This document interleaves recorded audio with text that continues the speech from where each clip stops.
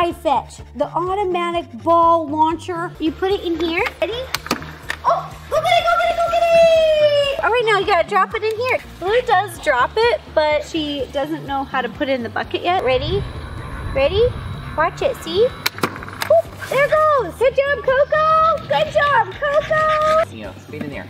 Ready, set, go! It's a ball! I think with a little bit of training, they'd be able to learn. Look at her, her little ball.